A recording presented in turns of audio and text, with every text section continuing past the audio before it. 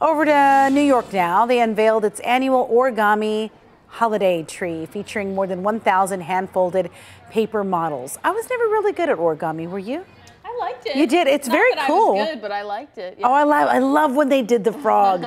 the tradition began in the early 1970s when a museum entomologist created a small tree with origami insects. This year's theme, Jumping for Joy, celebrated the 2024 leap year with models of hopping animals like rabbits, frogs, and kangaroos. And this year's tree took three weeks to set up.